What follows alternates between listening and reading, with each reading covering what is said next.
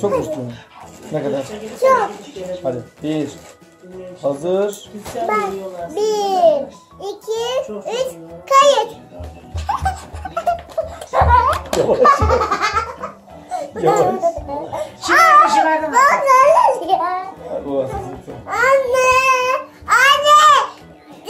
Mangal yok. Ne yapıyormuş? Mangal mı? Evet. Hadi.